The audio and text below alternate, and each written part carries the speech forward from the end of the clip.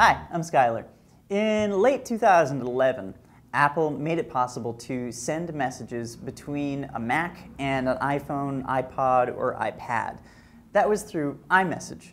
And what I can do now is show you a little bit about how that works and when you know you're using it. Let's take a look at this message I have from Patrick. We see that messages from him go out as green.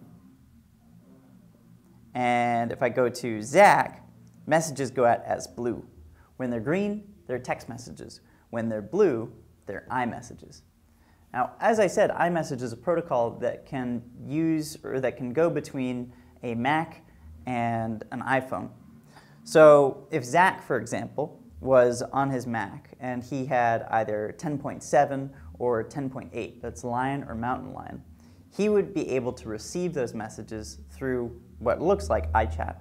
Now in 10.8, Apple changed iChat to messages in order to increase or improve the coherence between iOS and OS 10. So you see on my iPhone it says messages. On your computer it also says messages so that you see them as the same exact thing. Same as contacts, calendars, all of those are now the same. And the protocol works both ways. Thanks for watching. I'm Skylar.